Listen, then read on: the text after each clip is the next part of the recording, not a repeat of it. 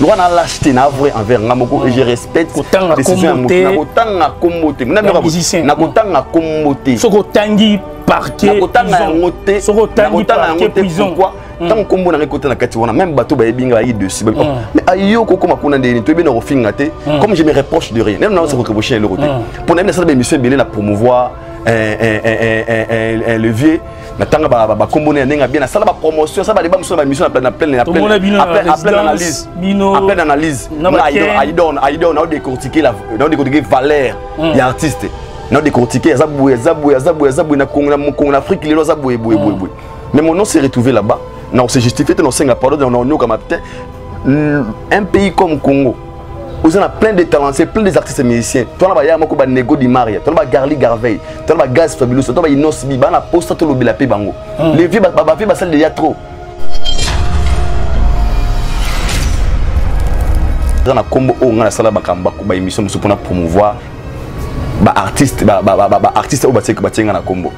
nasala bamikro baradere mosusu na afrique sina otambusa mikro mpo na nkombo ya artiste nazwi nango nis france info ya ofele donc mpo na nga moto aboyi natanga nkombo na ye na orespecte opinion na ye ah. na orespecte décision na ye parce que ye moko ayebi peut-être le raison oyo nini alobiki ayido akotanga nkombo na nga te peut-être devant la caméra na otanga te mais d'ailleurs la caméra na osala débat na nkombo wana ekota parce que eza musique oyo nayoka de mon enfance ti na kolia eza na banzembo nakoyemba elongo siko na elingi longo basi ya artiste oyo atangi bona ntaka kombonakokoyinakomona fali pupa hmm. bafinga bitongo milipamais chacun de a na façon na ye ya koagir baa ndenge moko te baa na motema moko te hmm. peut-être bafali bamemekanga mitema peut-être jb hmm. akanga motema aza motufere akanga motema ya motu mais motu mosusu amoniki te mpo na nga la meilleure façon ya kopekisa bato eza boye ye moko ayebi le pourquoi mm. parce que mutu oyo aza mokolo ayima moto osala nga to biso bana mike mm.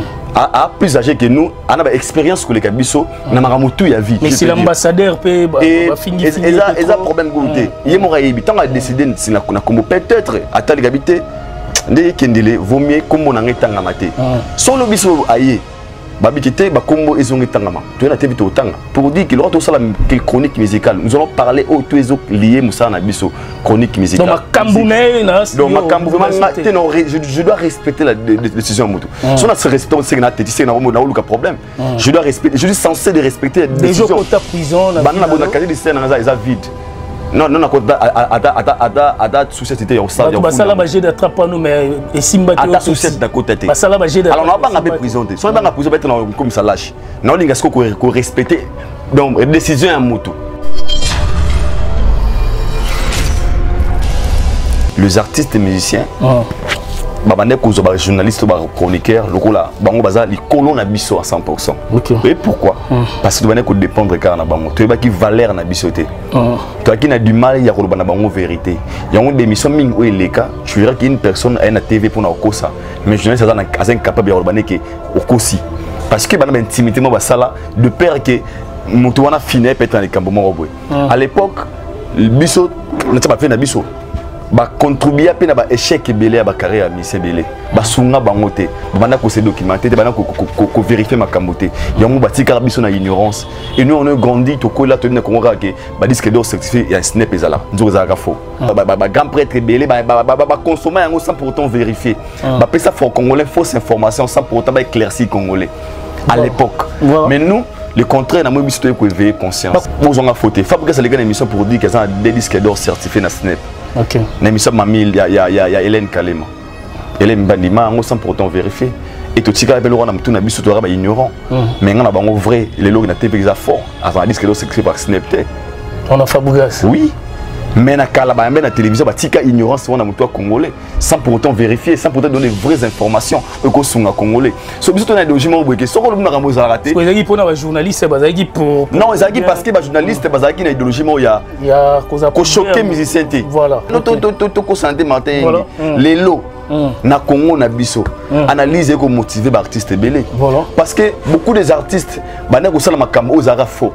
mais parti ya analyse ya communique ah, ndeza bongo so nasali boye baya bakoya bakofandela yango bakoloba epuis ekomi komotive bango batravaille dire tokosana te mpo ngai na ata obenga peut-être exemple to ferre to to fali to héritier na ba ah te ndeza mm. bongo mm. obetaki conseil te boye mpo ani eza information oyo ngai na ozwa mm. alors que so olingi vérité carrière ekende bien va supporter vérité. Je pense que c'est la meilleure façon, c'est comment supporter vérité de mon ah, okay. La vérité, elle a sauté. Oh, oh, très bas biso toyolo bango likolo mpo misa alingaka nde nini misa alingaka moto akumisaka ye ah star oyebi oyemba belle voix oza danger yo boye oleki bango e balingaka bato ya bongo bato ba bango vérité balingaka bango te or ke moto aloba no vérité azosunga yo o travaille mieux aosunga oke liboso o avance alors mpo na nga analyse oyo fo kutu le contraire bamisien ebele babengaka nde biso ndenge bamisien lelo bazose dérange hmm. balobi bato ya baanalyse hmm. bazosunga bango te okoka euh, façon motu moko azosala analyse omonaka aza contre artiste moko boye mhm. aza pour artiste moko boye omona mpenza ke a so olandeli moto oyo elobeli na ye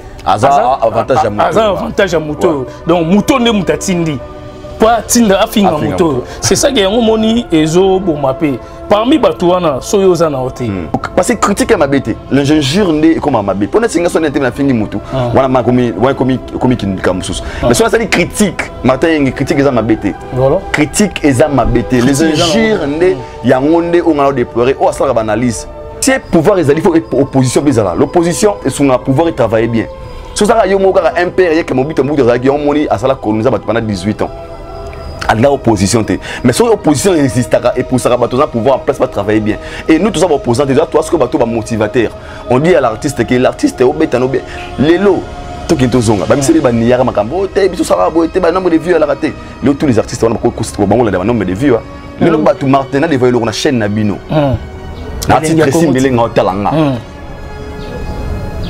est-ce que oyebi ke lelo mingi bakasa biso travail pour fali tracy mbele ngai na chaîne ya plus de 2200 abonné ata mokolo moko te asala asala na bachaîne na ye omonake alingaka kolakisa bexport oyo fali asalaka mpe te non napeka wana constant te nayebi te wana constant po toza deux personnes tracy hmm. apesaka biso ata numéro invité moko te ok te obenga oyo obenga o te hmm. tobongisa baprogramme ya bémission na biso hmm. biso moko toza deux personnes na chaîne toza eh, ngai na matie motu motu aza na façon nasala bémission mutu mutu ayebi makambo nde asalaka vie privé na ye oyo aloba makambo nde mutu aa pour oyo mutu aa contre oyo voilà ngai nabengaka bainvité na ngai tinga na yamba basankaka dekuta na yambaka badeniles na yambaka bato moto atindaka te ngai nde kaka émission ebima mama martin ayambi sankara ayambi mm. deniles mm. azosala oyo ngai nasali mm. soki tresi lelo nayambi sankara dekuta akritike nde to bakritike musicien moko boye tresi aboye kotso na chaîne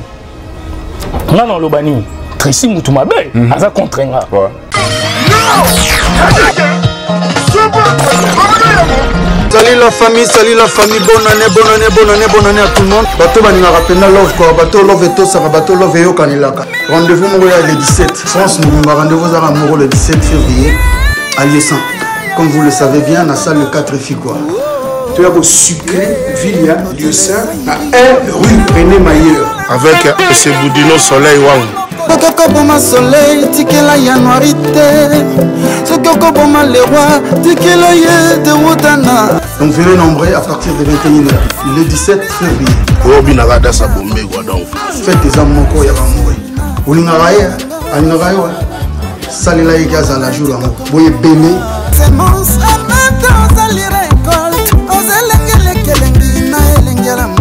toute génération confondue rendez-vous n'est pas manqué toya tosepela le 17 février babido la danse du moment bombeti ale bombe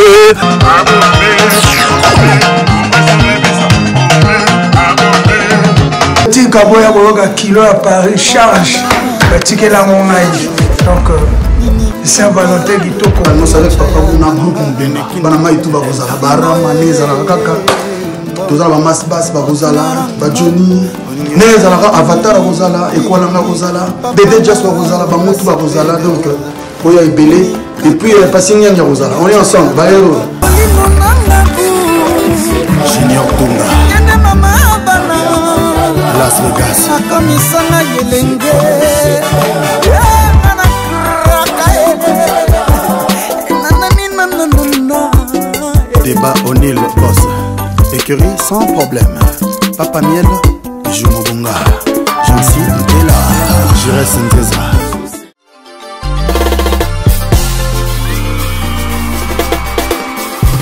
C'est tout nouveau. Salon de coiffure et grande boutique de vente de produits de beauté. City Air Beauty, spécialisée dans la vente de perruques, tissage et closure de grande qualité aux prix imbattables. Un salon de coiffure pour hommes et femmes. Au numéro 4 de la Grande Rue, 91 260, Juvisy-sur-Orge. À la sortie de la gare de Juvisy, prendre la sortie mairie ou marché.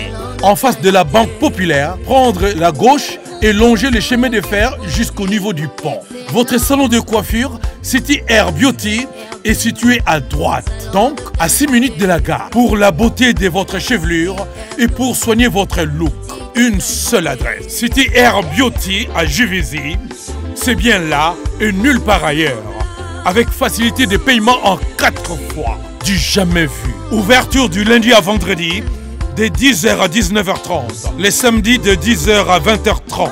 Votre réservation au 01 72 49 47 59 ou bien au 06 60 97 08 18. City Air Beauty à Juvisy.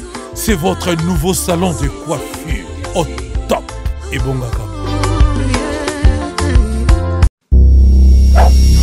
Yoka Quadra. C'est moi, Kofi Olomide. Je vous le dis avec cœur. Si vous voulez aller de Bruxelles à Paris, de Paris à Bruxelles, aujourd'hui, il y a un moyen que vous devez soutenir. Et un moyen que moi je vous recommande, ça s'appelle Neo Tam Tam. C'est fait de main de maître par un Congolais digne de ce nom.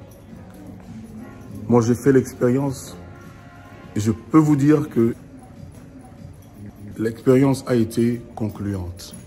Donc désormais et dorénavant, pour vos déplacements, si vous voulez faire venir quelqu'un, de Paris à Bruxelles, Néo Tam Tam.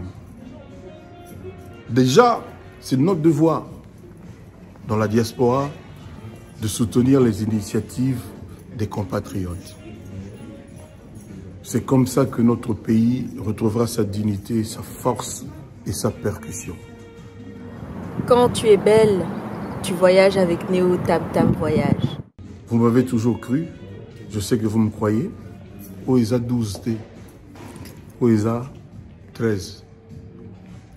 Neo Tam Tam.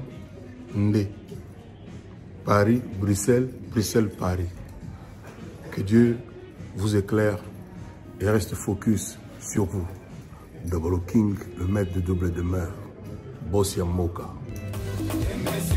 Jacques Pemba, Belade, Guy Noël Ngoya, Charisme, Elodie, Charisme, Boutique Aloha, Nathalie Bumba. Aïe Bana Poto, Bana ya Paris, Bana ya mokili mobimba, Restaurant Sejonga, hey yeah! Restaurant chez Djonga, nouvelle formule oyo eye lisusu na makambo ya sika, c'est-à-dire que awa bafandisa accueil na niveau ya deux fois te, surtout que bazali na ba service ya elengi. Awa soko koti bazali na plus de 80 places assises. Mais kote ya bilubu engai ye awa bavandisa specialité ya bilubu nyonso, ezala africain to européen, kasi mpo na ba congolais fanda na yo nie mpo awa okolia mpe okokata mosapi yo moto olingi osalisa feti ya anniversaire bateme mariage conference to reunion moko boye yaka awa na restaurant chez jonga oyo bafandisa masolo tu joli kitoko na service ya kalite mpo na bilubu elambamaka awa yo moto olingi osala emporte ndenge osali commande kaka sikoyo sikoyo balambeli yo mbala moko mbala moko mpe ozwi yango oza mobimba restaurant chez jonga ezofongwama tous les jours Du lundi au dimanche, 7 jours sur 7, à partir ya 8h ngingo, oza mobimba. Oyo, adresse na yango ezwami na 4e rue. François, Villon, 94 230 Cachan. Po na bato oyo bolingi bosala commande to réservation, okoki kobenga na numéro ya téléphone oyo. Malolo. Oui, frère, Babi Tchonga. Futur, futur. moto akosala 50 boite na kati ya kin se jongaske restaurant se jonga yango nde efandisi bilubutu awa na kati ya paris mpe na mokili mobimba eyokani Bonjour mesdames et messieurs, bonjour encore à tous les Congolais de partout. Onyon Sobota la Bissona, Elenga Congo TV, Martin Engi, double vitesse à fusée, double vitesse à fusée, na cadre kaka, ya baactualité ya bandeko oyo bozobenga martin ozoyokana te partout dans le monde donc euh, toza ensemble lelo na aidor mpo tosola nanu selon ba tokoloba baactualité mpenza te mais toloba makambo ezoleka na réseau sociaux eza partout ezotangama bakombo ya mbuta likasu kombo ya aidor kombo ya ken piana valdi tambwe kombo ya bavincent kombo ya bandeko mosusu oyo toyoki ebimibimi ndeti prophète deniles toyebi te soki kombo ne mpe ezalaki bakombo ya bandeko baza tellement ebele oyo batye bango baboyi batanga kombo ya artiste misien ya mboka na biso monsieur l'ambassadeur eh, kofi balobi batanga bakombo na ye te na ndenge ya bien ya mabe batanga te mpo baza déjà na problème moko na niveau ya justice ya mboka na biso alors parmi bato oyo batye bango na liste wana comme bachroniqueur lelo nandimi nalingi nazwa na aidor tosola nanu mpo bato ebele bazobenga respect eza te ya bajournaliste ya bachroniqueur epai ya baartiste émission na biso ya république démocratique du congo surtout culture na biso ezozonga nsima mpo tozoyokisa bamusicien soni kote oyo mpe balobi bamusicien baza na respect te epai ya bapanzi sango oyo lelo toloba bajournaliste bachroniqueur nabosani mpe na kati ya liste wana na ti lokole mpe aza na kati alors parmi bandeko oyo batangi bango ngai nazwi aidor nanu tosola bambuta likasu tokozwa nsima bavaldi tokoluka na ti lokole tokoluka mpe bandeko oyo baza na kati ya liste wana merci tomoni mpe lelo mpo na kopesa message eh, tomoni lelo monsieur l'ambassadeur eh, kofi auti kopublie video moko mpo na famille na ye mpo na didistone eh, oyo azali makila na ye ata problème eza ndenge nini bato bazoloba bazokritike me boloba makambo ya mabe te mpo na nkombo ya didiston oyo azali makila ya le grand mopao kofi donc euh, toflashe bino mpo na video oyo ezali kocircule ya monsieur l'ambassadeur nau nakomoloba nanga monsieur l'ambassadeur mpo tokomi kobanga mpe mwa bakombo yango esala mwa mabe merci vraiment na ladi mfumu mokonzi ya loste motema ya mama arlette mfumu napesi yo bambote place ozali pourquoi pas na sam kunku sam kunku na kati ya londres toza ensemble na aidor merci mpe na fabiola madidi na kati ya belgique bambote na yo merci na bino nyonso tu oyo bozotala biso balobi jimmy chimanga porte la chapelle paris bruxelles solution chez jimmy chimanga na pesi yo bambote place ozali merci pe na césar pasio ti yango yi loboko ya nzambe moto moko bien bambote na yo balobi pourquoi pas na fredi ndonga la irlandais balobi flat hotel les irlandais na kitambo velodrome arrêt chanike alors toza ensemble na aidor aidor toza ne ensemble lelo na kati elenge ya congo tv parmi bandeko batangaki kombo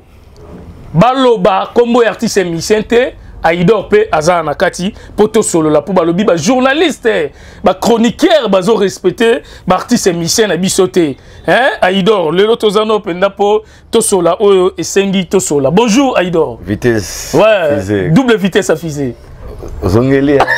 santé dérange mais santé dérange voilà hmm. nzambe aza bien parce que nga s'inquiéter moi trop na bi Martin Martin na kozaba information qui santé dérange qui on a bi nzambe batela biso OK après ce sa bonne santé na bi zongeli activité pour yo zalaka aigle voilà batigele batigele bango na terrain ya salutation na ba na ba tournoi nyonso ba otala biso oyo balingaka mpe aidor bosaboneka massivement na aidor media tv na bana ebandeli nzambe asalaka erreur te azalaka mpe surpris te na bato oyo tu balingaka ngai nasengi bino okoma millionnaire en agriculture regel groupe investing ya monsieur pichu nzolani l'homme à la mondele l'homme à la mondele monsieur pichu nzolani apesi bino chance ya kosalela bino bilanga ozalaka na mbongo na yo ozala na mabele otonga osomba na kinkole na maluku ovandisa osala yango eloko te regel groupe investing eza wana bakobaya lolo mabele baloneli yo 6 mois une année okomi millionnaire ah, na agriculture donc sinon merci à toi mon frère matin voilà merci donc totikaki temps je crois bandeko mpe bazwi temps bazwi mpe mpe mabose mpo tala kaka merci vraiment bon totikaki temps bandeko mpe basala quand même baza na visibilité esala bien yango mona olobaki mwa bamakambo vraiment omanike oh, nani nani na dozaki nanu kokota kota yango te mais oyo esengi toloba pio mpo na bien na biso ezali je crois bandeko ebele baolinga bayoka tokoloba nini lelo na kati ya émission na biso oyo tosala mais avant tobanda natuna no aidor baquestion napesi vraiment merci makasi balobi jeune leader to soutenir ye clevasse aza na niveau ya paris aza na niveau ya france eh, artiste émission congolaise oyo azobimisa single na ye donc eh, le 14 le 14 février oyo ezali saint valentin donc mardi le 14 février titre na yango ezali malaise eh. donc eh, cleva c bokende na chaîne ya youtube bobeta cleva c officiel boko télécharger clip le 14 février oyo donc eh, balobi mpo na bamoure mpo na bato ebele oyo bazozela le 14 février ye mpe azobimisa sortie officielle na ye ekozala na baplateforme nyonso ya téléchargement malaise donc euh, artiste émission cle vasse napesi yo bambote place ozali aidor boni santé très bien mon frère nangola nzambe ah est ce que oza bien na très bien aidor tokomomona okomi koyokana te kobima te mikolo oyo ozobanga baproblème moko jamais na très bien mm. na très bien et surtout na tona mboka ya démocratie mm. tona mboka ya démocratie naza très très bien sona bina très bien sans vous mm. mentir je suis, je suis à l'aise mm.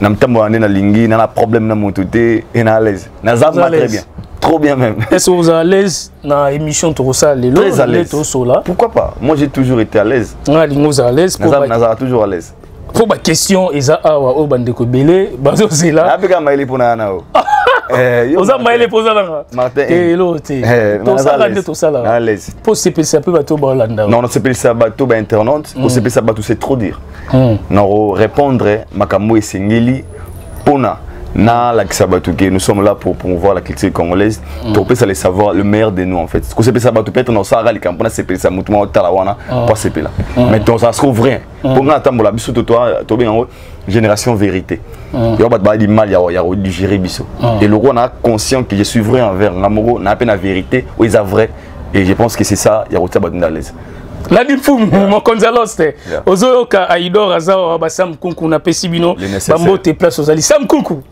sam kunku moi au finage ah yeah. ah, Sam Kuku Aïdo yeah, Aïdo aleli pe nalela na kombo na effort ah, ah te na na ba Vita Kaluji eh, les plus honnêtes Vita Kaluji eh. les plus honnêtes voilà. Sam Kuku avait na nga pe mais ça mm. mais Vita Kaluji les plus honnêtes mm. Sam Kuku longola yango longola yango mpo esala bien esala bien Aïdor aza moto aza na visibilité partout nde mona biso mais sam kuku ça va ça va déjà donc euh, nde tolobi boye makambo tout eza nango bien hmm. atinaka chaque ntango okomaka bonjour eh. bane omoki apale sam kuku longolaka longolaka eh. toboyi toboyi boye eh. longolaka mpo esala bien alors babi biso bachroniqueur hmm. bachroniqueuse bajournaliste hmm. tozo respecte baartiste emisien na biso te surtout likambo tofandela mpenza mpo tosolola yango nali tobanda yango na bongo biso tozopesa bamisien valeur te biso tozorespecte bango te est ce que biso bajournaliste bachroniqueur biso bachroniqueur partout bachroniqueuse tosunga baartiste émission na nini nalingi orépondre na bandeko tu baotala biso tosunga bango merci beaucoup à l'époque c'était mpo ah. martin ke mpo tofaki na nzela wera to na jb ok à l'époque ezalaki les artistes musiciens oh. babandaki kozwa bajournaliste ba chroniqueur lokola bango baza likolo na biso à 100 okay. et pourquoi oh. parce que tobandaki kodépendre kaka na bango toyebaki valeur na biso te oh. toyaki na du mal ya koloba na bango vérité yango démission mingi oyo eleka tu verra qu'une personne aye na tv mpona kokosa mais journaliste aza incapable ya koloba ndeke okosi parce que bana baintimité moko basala de père ke moto wana fina ye peut-être na likambo moko boye ah. à l'époque biso na tia bafei na biso bacontribua mpe na baéchec ebele ya bacarrière ya misi ebele basunga bango te babanda kose documente te banda koverifie makambo te yango batikaka biso na ignorance et nous on est grandi tokwela toyebi na kongo kaka ke badisque dor certifie ya snep ezalaka nzoka ezalaka faux ah. Non, non. Tandis que il est quand même grand prêtre belé ba ba ba ba consommer yango sans pour autant vérifier. Ah. Ba pesa faux congolais fausse information sans pour autant ba éclaircir congolais à l'époque. Mais nous le contraire na moi biso toyei koéveiller conscience ba comprendre chaleur eza mwa makasi ya moi makasi biso biso toyei koéveiller conscience okay. tobi ke a eza a b eza b martin enga tala ba boulot na yo mo yambi moto yambi moto yambi moto moyo moto ah, mais martin la boye boye pona et pourquoi parce que comprendre ke musala na yo olongoli na ki camaraderie ki vieux ki petit hmm. yango moni na kala makambo ezalaka te nakayaki makembi wana mpiri moto aboye moto aleki na tv nakokosa na père exemple mm. bozwanga faute fabrigas aleka na émission pour dire qu'aza na de disque d'or certifié na snep okay. na émission mamil ya, ya, ya, ya hélène kalema hélène bandima yango sans pourtant vérifier et totikala mpe loko na motu na biso toyaka baignorant mm. mais ngai na bango vrai lelo na te mpe eza fort aza na disque d'or certifié par snep te on a fabrigas oui mais na kala bayambe na télévision batika ignorance wana motu ya congolais sans pour autant vérifier sans pour autant donner vraies informations ekosunga congolais so biso tona idéologie moko boyeke soko olobi makambo ezalaka te ezalaki mpona bajournaliste bazalaki pour non ezalaki parce que bajournaliste bazalaki na idéologie moko ya kochoke musicien te akobana ah, ah, vérité te mm. en fait en oubliant lorsque moto alobana vérité te alingi yo te martin nde towana mm. bosobi na ngai aido mm. chapeau yo eosala mwa faux eya vérité moko boye purement il dit si relmesala nga faux nakosala ignorance pena pena ah martin na raison peut-être ka chapeau na tv esali bien te fana salela yango te osungi nga directement lobi na osalela songo te mais na kala ezalaki moto na télévision akokosa mais wana limali ya kozongisa na nzela omoni ekaki ah, oyo yango paulin mokendi je le félicite mm. bafe na biso idoja paulin mokendi yango nde ya sikoyo lelo na internetpaulin mokendi un monsieur vrai un monsieur honnête un monsieur oyo asaka a likola a b likola b ozomona alors biso baoyo nga nakomaka le contraire tozobooste nde bamusicien ebele hmm. pa lelo tokomi na courage ya koloba na motu ke hmm. nde oza bongo album na yo ebeti mai hmm. osala ngo na barythme moko banzembo ebele album na yo nde ezokende bongo normalement eh, eza bavie moke normalement nde eza bongo eh, na concert oyo ezalaki piaka normalement ezalaki boye esimbaki te omoni vérité oyo yango ezosunga bamusicien batravaille dire ezomotive bango bo le contraire moi je pense que biso nde ah. toyei komotive baartiste na biso de mieux travailler de rester réglo ya kozala a eza ab eza b wana tv te mpo kosa biso kende eza bongo eh, na beta eh, na concert na canada to na france to na boye dati boye ah. pendant que osali calendrier oa conscient ke obeta yango te donc so obeti yango te toyei na tv tobaki ah pourquoi betaki yango te okay. sekeyaki faux date ah. ezo komotive bango bazwa soki bacontrat ya solo batravaille comme il faut ah. donc les contrats biso nde tobooste bango batravaille kutu bien mais siko pourquoi euh, koluka artiste te koyeba mpe pourquoi abetaki te mais mbala moko analyse analyse kosala mpo edérange mpe artiste mpo toyebi ke biso toza na mpo na bango toyambaka to na bacontact eh, mosusu mpo kokoma na whatsapp alo maestro fabrigas mpo nobetaki concert place boye te abi ono na raison moko boye nazalaki malade ye moto aza mieux place ya koéclairci biso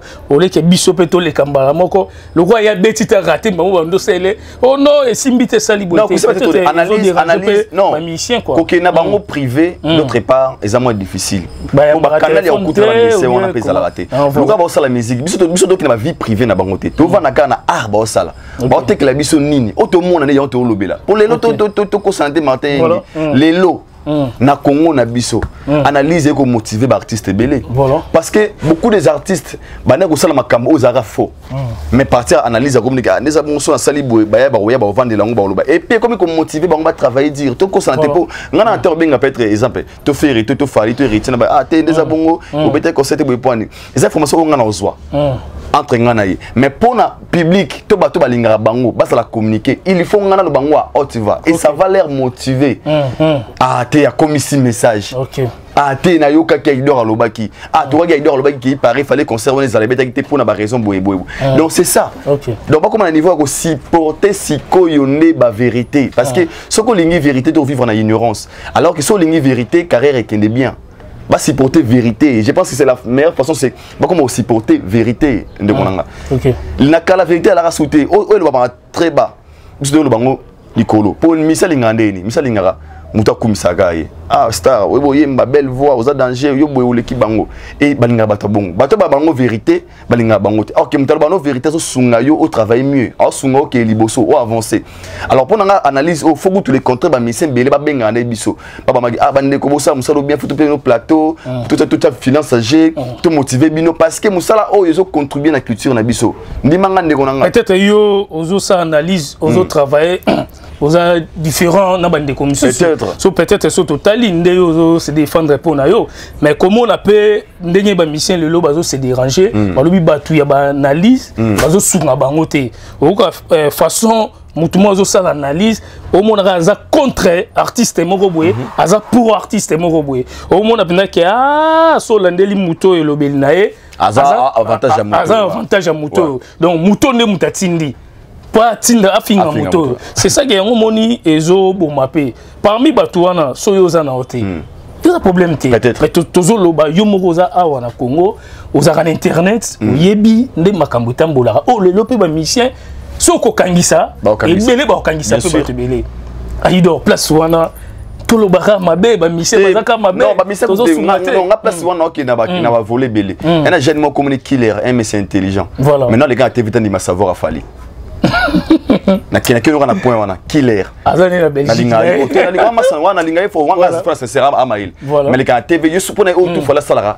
mm. ya mabe oyo nyonso fali asala analyse ya nini ape na kiraka analyse posons des questions osalaka eloko te aswani odekoti bafrançais ndenge wana odekotiki mabe eloko te okosa biso boye boye ata mokolo moko taleka na émission mpo loba exploit ata moko fali asala pour lui fali ne fait rien dans la musique congolaise napeka exemple moke asala mpe baanalyse ti surtout banaa atinda ye azwa part nani question mark topose nini question de question na makambo oyo tout hmm. la responsabilité revient na bato baza koyoka oyo tolobaka hmm. mpo lelo nga loba un artiste oyo oh, vraiment aza na moral ya bien oyo aza oyo oh, ma alingi musique na ye to culture na ye biso todérange ye te mpo wane hmm. parce que aconseil nosamba ezwaka moto kaka inosibi asiki maki na bazema na ngai ebeta na asikise na simba valeur na nga so parce que critique ya mabe te l'injure nde ekoma mabe mpo nasinga soni ntebe nafingi motu ah. wana ma ekomi kindika mosusu ah. mais soki asali critique martin yenge critique eza mabe te critique eza mabe te les injures nde mm. yango nde oyo ngai na deplore oyo asalaka baanalyse Ah. soki omo ofinga bato wana okoma okeli banda game mais ntango osala critique na oza base na art ndima ngai osala mabe ata moko te même le président kabila bakritika ye ah. même président kisekedi bakritika ye ngai namona moto ya idps aloba na kisekedi mabo eh, tokanaki boye te tobe peuple d'abord ya bacritique ah,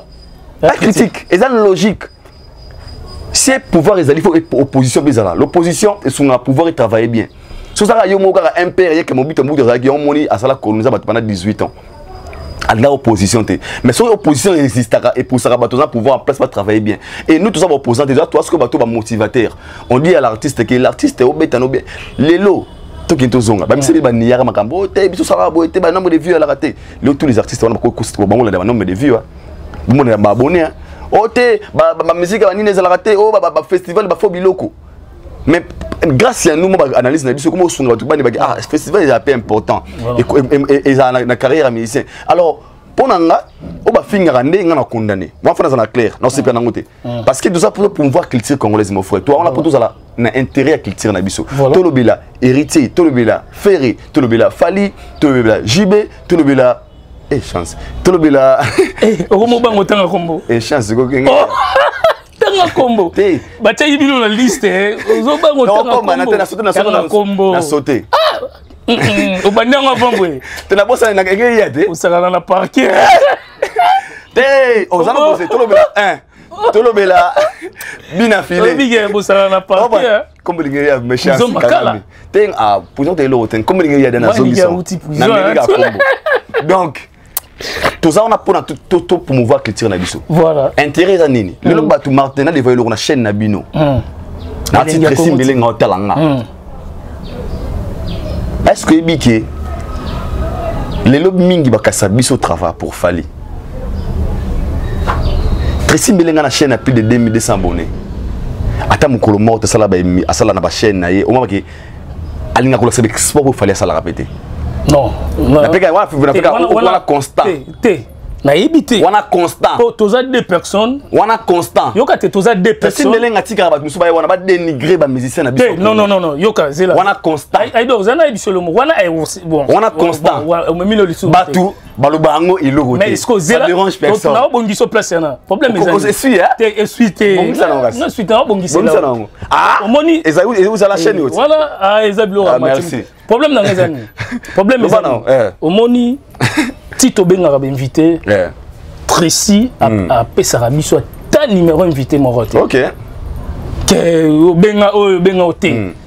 tobongisa baprogramme ya bémission na biso mm. biso moko mm.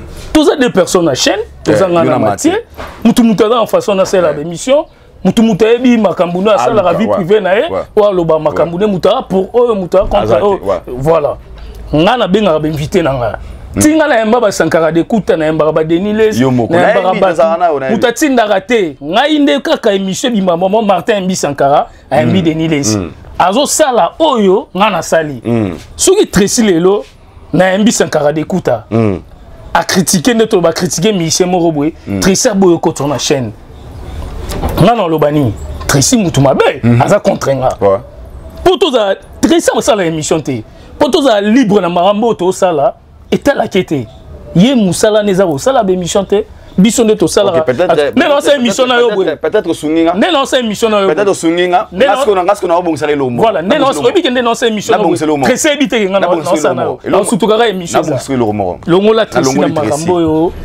tya nde elengi ya kongo elengi ya kongo ah ok na bosana ki longola tresi limbisa nga mwasa na ngai wana wana c'est frère tya nde elengi ya kongo tv voilà elengi ya kongo tv elengi ya kongo tv ba journée c'est ba mi balenga na match boss kongo tv tresi limbisa nga mande ko na tya mon frère je t'aime bien oui ya dirudi ya suka mère mami na bana biso wana famille émission de tresi olamba wana famille de tresi ko kata kata ba place ko muto aselo musala makasi wana wana tumta mabene ah omoni siko moto azobongiselo émission moto azobongiselo émissionproblème eza nango te ok merci to continue eza ambianceeza ambiance voilà lelo le gens ont du mal ya kodigérer biso pourquoi pourquoi parce que selon les gens nous nous travaillons pour une seule personne mm. en oubliant la personne oyo oh, wana balobaka esaka bongo aza très, aza mm. très actif bocomprendre chaleur eza bocomprendre biso mm. yaya nga mana akomonesi nga je parle na komona nga mm. nayebi ke na travaillaka pour la culture congolaise au nom de tous les artistes et musiciens nga na moto oyamba tedi royal wa wenge 4x4 nga na yo yo moto obenga na réunion concert oui ya wata yo ozala cordo aidor ozala mm. participer oza yo ndeko na nga yo oyebi mm. ya ferre toza yango le 24 yo oyebi siko moto obaka astrava mpo na motu moko asalaka nde yini e lelo bato baye bango lelo na congo eza na bato oyo baza wana mpo na kobebisa culture na biso ya congo baza ebele le contraire na biso biso tozana mpo na kopromouvoir culture na biso parce que le vérité kitolobaka très haut bato mosusu bakokoloba yango te congo eza na monde ya bajalelo kongo olingi moto alobaka ah leader yo ozwa oleki bango ah, yo obeta bien ah, kolanda ba youtube wana te bafo bacope la musique eza nde voix musique ya boyeboye batya bato ebele na baerreur na baretard lelo Voilà. alors moto alobaka vérité ya moto balingaka oyo aza boateli meme na télévision bike nde eza bongo moto abeti bien te lelo na congo hmm. to na trois albums sur le marché oh, tokota yango wana kutu tikela ah, ngai tikelanga makambo na ngai merci vraiment tikelanga makambo na ngai mpo natuna yo mpo yo ozobanga otanga bakombo ya bato ozobanga prison ezali ozobanga parke eza me babitanga ona ndenge ya bien bino na ndenge ya bien mpe bokoki kotanga ngai na obanga na kuna obanga otanga aidor avant toloba baalbum oyo eza na marché mm. tokende nano mm. nde tolobi tosungi baartiste te mm. baartiste mpe baosunga biso te yeah. toza kaka na kati mpo tosola bandeko baotala biso ke tobima mpe mabe mabe voilà. trop mpenza parmi bachroniqueur bachroniqueuse mm. bajournaliste batangi bakombo na bino na liste wana tomoni batangi bakombo na bino mm. baémission nyonso oyo osalaka idor mm. na kombo ya messi l'ambassadeur mm. se kosala arabe émission mabe mpo soki osalaka bemission bien tolinga tomona nkombono na liste eza te nga kuna na liste te mm. elakisi nga vraiment nasalaka bemission bien nayambaka bato bien na makambo tu donc ngai mpenza kota polémique na lela polémique ya kindoki mais polémique na nga eza kokota vie privé ya bato te ke oyeba oyemba te album esimbi te concert esimbi te wana cope na nga wana mpena moto akoboya aza te mpo ngai nalelisa baleader ebele nalelisa baleader ebele moto akoboya aza te mais jamais na ko manquer leader mm. jamais na ko finga leader ba tonga pe bana biso ba ba leader ba tonga nga pa bino ba bandolo ba loba ta fo ba bandolo ba ndenge oh lelisa ah ntango bokendaka na résidence na bango bapesi yo balare babandi otonga nga balelaka na kombo na oki mwana wana asa bamosala mabe vedi bandela nano mwana osala mosala mabe donc ngai martin batongaka nga yoka omoni nga mpe nasala liste na nga ya balidere nasala liste ya balidere ah donc nga batonga nga en fait ba kotonga c'est trop dur pour eux tout tout ça ezala mabe bon voilà en fait. tokende na biso ngai maboko pembe naza na liste te elakisi ke mosala oyo bosalaka kido ezosepelisa baartiste te bosali faux boulot bozokota bavie privé ya bato yango omoni bakebisi bino oyo akoloba mabe na nkombo ya artiste wana mm. aza na prison mm. parmi bato batangi ya idor nkombo no eza na kati wow. ezolakisaka yo oza mbuma mabe deja na mosala osalaka osepelisaka artiste musicien te nalingi oloba na bandeko nyonso baotala yo nkombo ya idor eza na kati omeki osala émission otangi kombo artiste parquet ndaku no eza parquet na prison ah. makala mm. tala caméra je me reproche de rien naza très conscient que naza na émission moko ta mabe oyo na kota na vie privée ya mutu mm. to na saluera personnalité ya mutu même bato basali baliste wana bayebi ke eza na kombo moko wana kombo nango aidor eza kombo moko boye oyo eza na réputation mabe te hmm. eza na nkombo moko oyo enyokolaka esprit ya motu te le contraire eza na nkombo oyo ngai nasala makambo baémission mosusu mpona promouvoir baartiste baartiste oyo batie ngai na nkombo nasala bamicro baradere mosusu na afrique sina otambusa micro mpona nkombo ya artiste nazwi nango nis france enfra ya ofele donc mpo na nga moto aboyi natanga nkombo na ye na orespecte opinion na ye hmm. na orespecte décision na ye parce que ye moko ayebi peut-être le raison oyo nini alobi kaido akotanga nkombo na nga te peut-être devant la caméra na otanga te mais dehors la caméra na osala débat na nkombo wana ekota parce que eza musique oyo naoka de, de mon enfance tina kolia eza na banzembo nakoyemba elongo siko na lingi longo basi ya artiste oyo atangi bona ntanga nkombo nakokoyina ye te te na otanga na tv na oloba te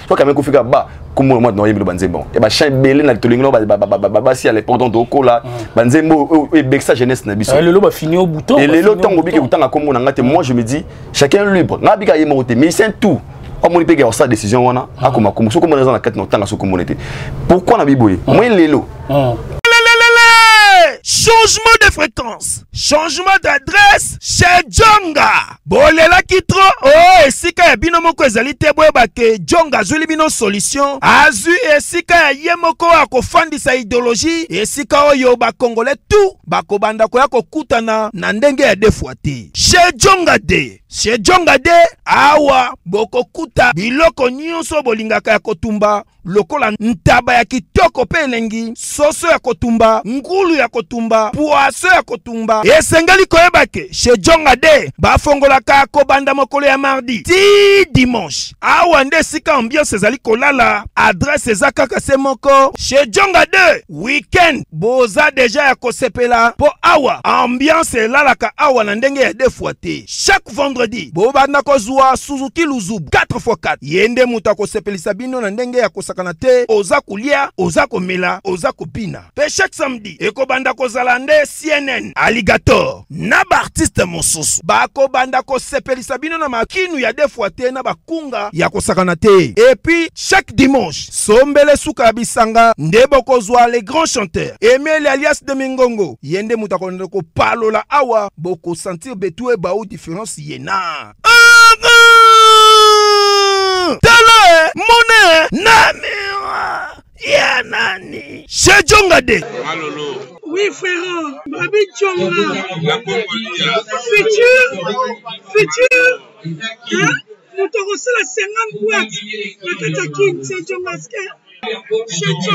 soki olingi osala bareservation obengi na banimero oyo mpe bakoservir yo joli kitoko chez jonga de yango nde moboko ya ambiance na kati ya paris se naturel oh. soin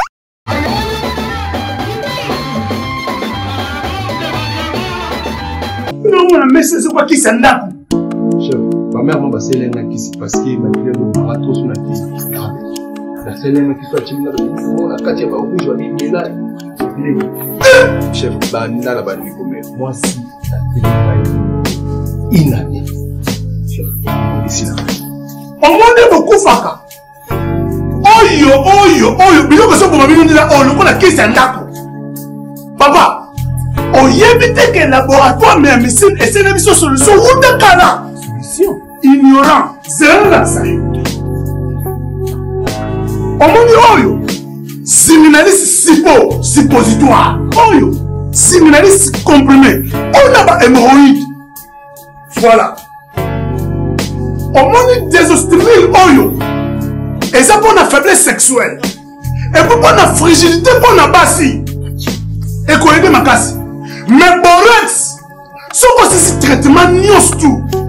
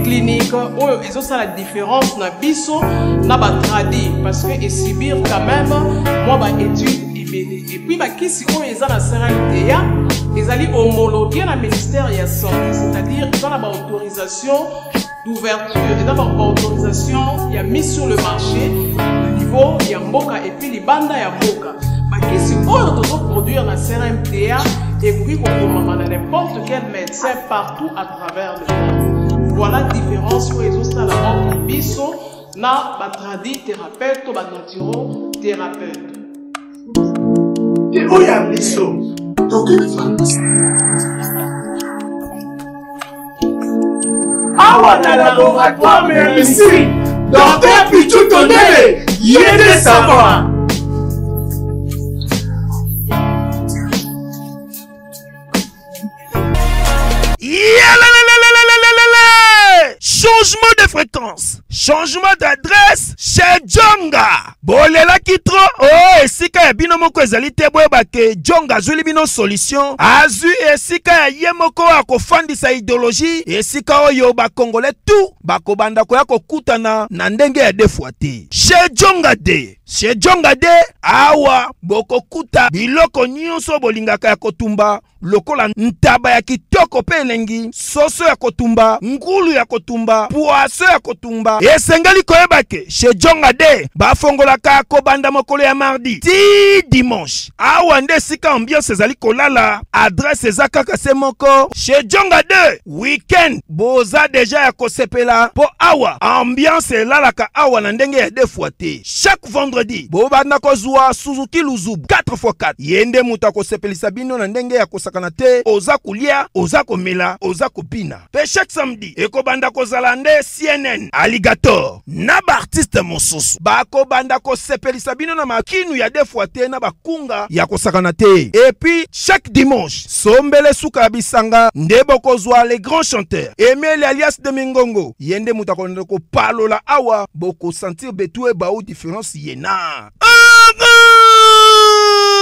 tala eh, mona eh, na mira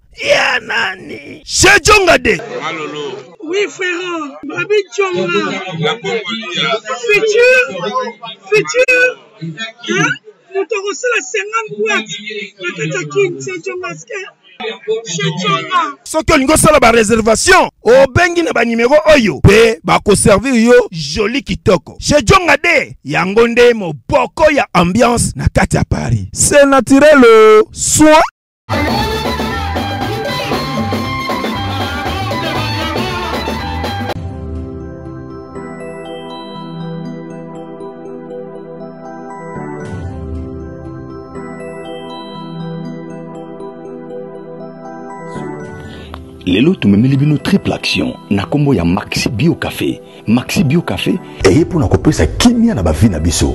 Pourquoi tobengi yango triple action? Maxi Bio Café ezali kopesa solution na trois catégories ya baproblème ya santé.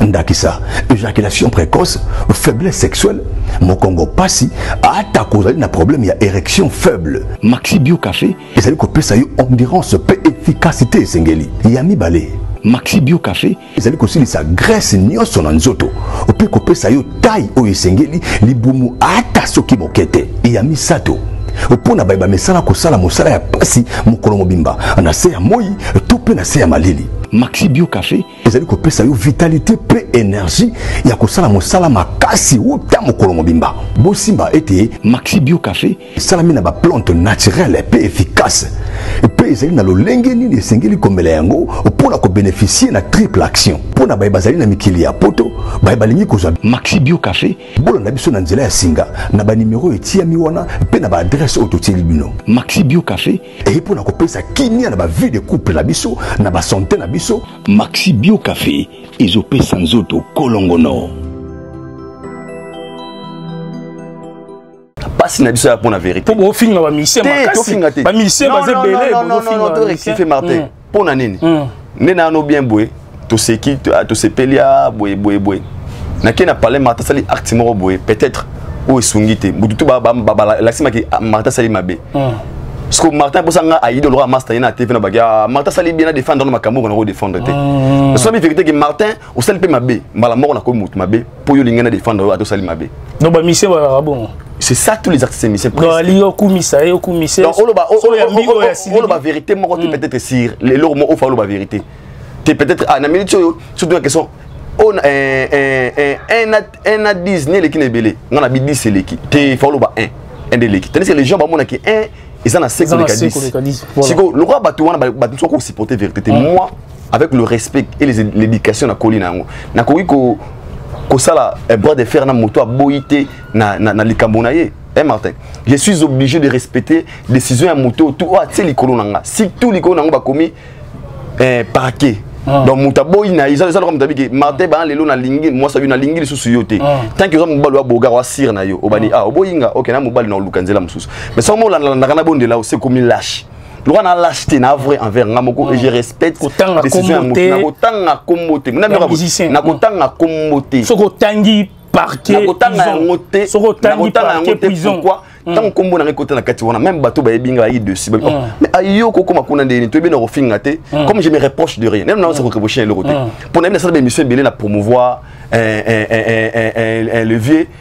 natanga bakombo nini ya ndenge bien nasala bapromotion asala badeba mosusu na bamission na pleine analyse pleine analyse aidor nao décortiquer valeur hmm. ya artiste nao décortiquer aza boye aza boye aza boye aza boye na mokongo na afrique lelo aza boye boye boye boye mais mon nom s'est retrouvé là-bas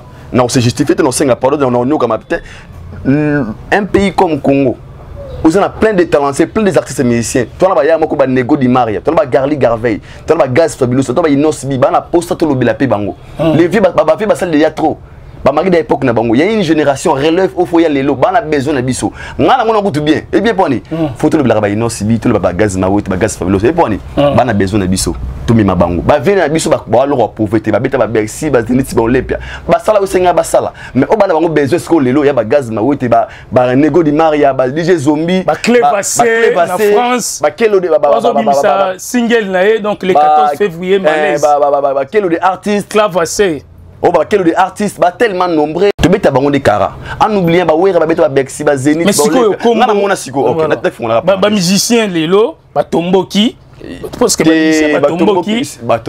balobi bazofinga bango bamisien tokende nao te oyo batomboki iso mona musicien moko ya congo ndeti nani totangapa exemple lokola mm. eh, weranson bafinga ye mpe ntongo midi pokua mpo mm. na bato bafinga sala tomona mpengo ti hmm, après wera asala tomona si omona fali ipupa hmm. bafinga bitongo midi mais chacun de ana façon na ye ya koagir baa ndenge moko te baa na motema moko te hmm. peut-être bafali bamemi akanga mitema peut-être jb akanga motema aza motufere akanga motema ya motu mais motu mosusu amoniki te mpo na nga la meilleure façon ya kopekisa bato eza boye ye moko ayebi le pourquoi mm. parce que mutu oyo aza mokolo ayebi ma moto osala nga to biso bana mike mm. a plus âgé que nous ana ba expérience koleka biso mm. na makambo tout ya vie mais c'est l'ambassadeur pe ba fingi fingi eza eza problème ko te mm. ye moko ayebi tant a mm. décider na na kombo peut-être atali kabite nde kendele vaut mieux kombo na ngai tangama te mm. solo biso aye babiki te bakombo ezonga etangama toye na tebi totanga pour dire que lokola tosala chronique musicale nous allons parler oyo to ezo lie mosala na biso chronique musicale donc makambo na ye donc makambo vraiment te non je dois respecter la décision ya moto mm. so na se respecte seke na teti seke nakomo naoluka problème mm. je dois respecter je suis censé de respecter la décision banda na boye na casier de scène eza vide Non, non, non, ata ata ata ata sucette te au stade. Ba sala ba jeu d'attrape pas nous mais esimba te. Ata sucette da côté te. Ba sala ba jeu d'attrape. Alors on va pas ngabe prison te. Soit banga prison bête na comme ça lâche. Non linga sko ko respecter donc décision à mutu. Ah, un homme un homme vrai. Oh, na so vérité. Oh banga prison. Martin, Martin Ingi. Martin, Martin. Martin, na to question moko. Obi so ba kangi yo. Martin. Obi so ba kangi yo. Martin na na fongola ka eloko moko siko. Na muta age moko moko menge vieux. martin totala bavideo martin lelo hmm. congo na biso ena combien des artistes combien des stars na congo lelo soki mutu apekisi nga nalobelaka baprouesse to makambo yo osala te na congo oyo eza mboka ya plus de 100 000 stars star parce que barei baba star to bastar hmm. star eza ya étoile mm.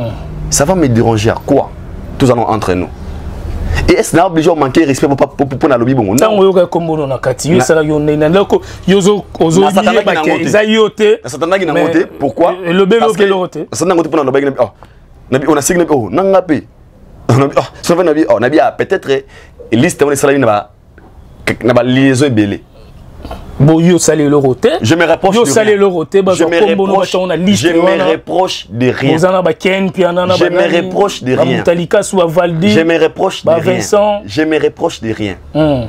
neti vincent asayeni kasi aza na belgique topesi bango te place aza tobatina ngo nga te bon eza kopesa sayeni seke ken asali eloko bo ken asayeni po bokomi so totangi kombo ya kombo artiste te tokobenga kombo bochange ngakutu nasala baje wana te ngachange bamaloba lisusungai na kochange kombo ya mutu te moi je hmm. dois respecter les décisions ya mutu aza mokolo aza papaautre part hmm. aza papa pa na nga hmm. nazo devoir aye ba respect je suis très bien éduqué mon frère naza nde mpona profite na nsima succès ke aloko apekisi komona nga bana bana de faire nga na chronique musicale ah, na chroniqueur musicale eh, tebe ebangisaka bato eh, oh, na bano pembe pourquoi epo na bano bongo martin yenge entre nous mm. eh, entre nous nafaso mpe mwa siko entre nous lelo soki oza na matière na osona na télévision lelo nasola matière ya nani lelo lelo actuellement na babadiske ebimi nasola forme sete fali poupa ebongo baza baza trop non ya eza beta koleka ya bango na ndenge afotaka so oh, oh, ndenge oyo olingi olingi nalobaka sa loba naloba bongo te na ndenge omoni sikoyo yo osala analyse mpo tosunga baartiste yo kooloba te ke ndeti ngai bon ngai naoloba na ngai ngai na ndenge akuzu nakoyeba oyo ezobeta mais na ndenge ya tv boye jamais nga martin nakobaka eh, formule 7 eleki ya bango oh. nakoloba yango yango sikoyo ozongi papapapapapana te teva kala non non non c'est dire la vérité martin tona monde ya comparaison tout à la vraie eza kozala parti pris te mon frère kozala complexe oloba eh, baexploit te ozala besoin ozala besoin eh, eza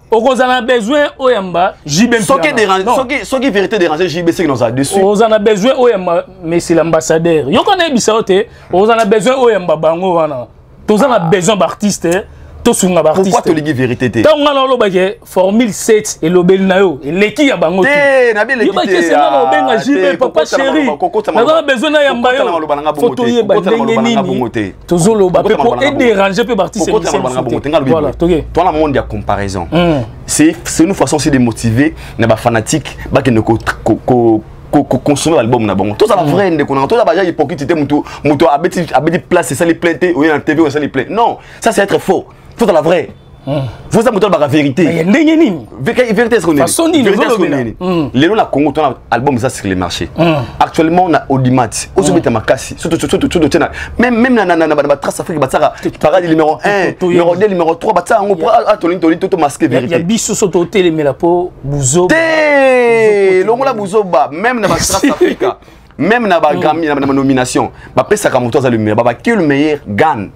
Mais que sur le plan comparaison. Respect sikoyo. C'est quoi le respect? bien. C'est quoi le respect Ezala te que peut déranger artiste mo ba fandi. Ko déranger te, ngala lo biboye, ngala sala défi, ngala mm. biboye.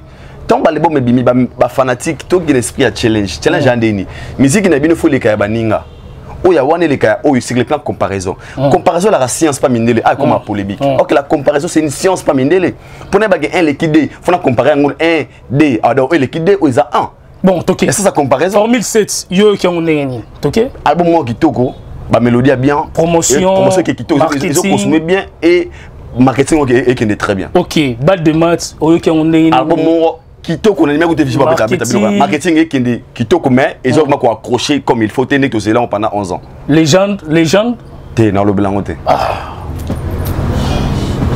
non pour le respect en fait na ndenge faute balobi kombo mutu album te légende omelaka mpe légende mwa ndenge bien kasi toloba okomobanga okomobanga te kobanga te nalinga na faire comprendre mokilikage non ngai nalobi donc j'évite na solo yango peut-être nga nalobi tolobi légende appel pona biso mutokeza wa moi eza ezo na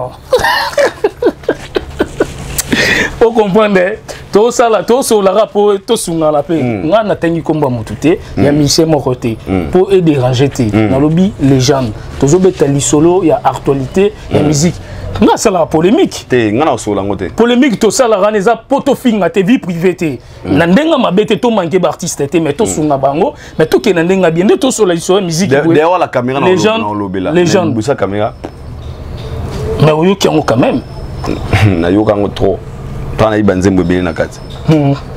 enaki mpe na posa asala émission moko spéciale kaka yango na balotike ndoba asala yango so te olinga okende yango ndeni yango très bien yango osepela nango fort mais na sala ngota na droite on m'a interdit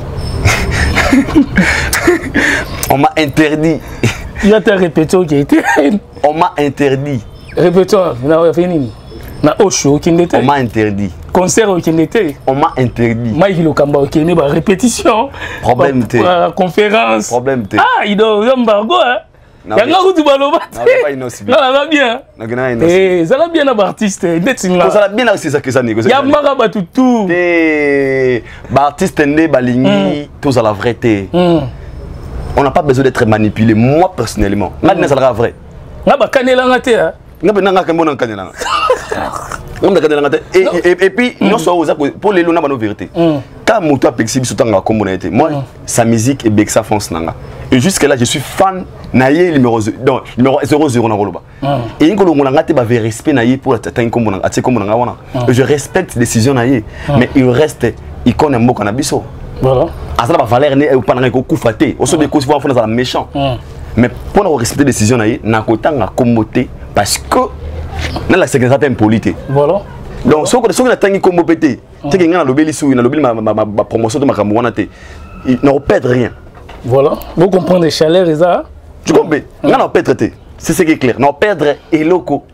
te parce que monoko na ngai kaka nde e, e, e, ekobeta libaku susu te peut-être mais ba estime ba respect nyonso wana etikali na bara na obeta bato beta nzembo na oyoka j'ai le droit parce que c'est une star de mon pays mais soki lelo baanalyse esalama bazoloba mpe nkombo na bino mpo ezosalama trop mm. nyonso oloba nini mpo na baporte parole bato baza hmm. entourage na bamusicien pano ya idor ezolobani parce que baa baflatere balingaka verité te bango nde baya na esprit ya flatterie esprit ya, ya, ya jalelo baoyo baza nzinganzinga na baartiste ya mission esprit ya jalelo kolakisa bango ndenge bango bakise baa danger pendant que faut hmm. ba aider bango hmm. il faut aider nos artistes de mieux travailler eza na oyebi eloko bamoso mpe nini bato balingi relève te oyebi mboka moko komona nigeria fima wakomona teams ato gagner grammy award e déranger don jésus te esaleka esengo mpo teams aso na congo donje eza kongo alinga asilika mm.